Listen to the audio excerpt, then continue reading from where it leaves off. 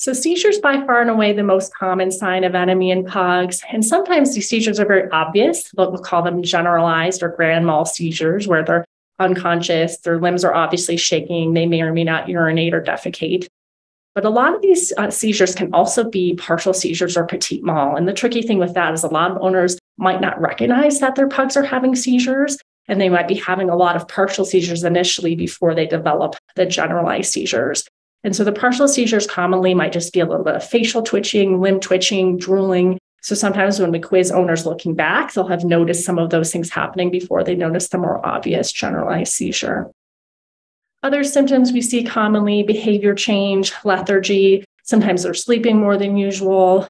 Sometimes they'll have reduced visual processing. So sometimes that's hard for owners to notice, but when they do notice things, they might say that they're bumping into things more on one side, or they might be not noticing parts of their visual field on one side more than the other. Commonly, they'll circle as well. And so, if they have inflammation more on one side of the brain, they'll tend to ignore that opposite side of their world and they'll tend to circle towards the area where they have more inflammation or necrosis.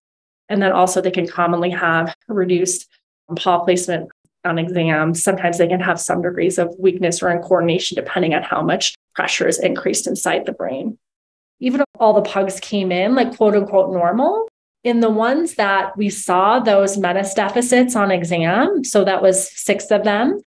When I asked the owners after the fact, have you seen anything? They had seen stuff, they just didn't know what they were seeing. And so one of the owners had noted that she had the sibling of the pug that they would she would try to toss treats for him and he wasn't able to catch it as well as his sister would she didn't think anything of it but then after treatment that all got significantly better there was another pug where the owner felt like he would get much closer to things on one side than the other after I asked her, and that got much better after treatment. And then another one had been into the vet twice in the previous year for like scratching her eye. Well, I think she scratched her eye because she bumped her eye because she couldn't see, you know, as well.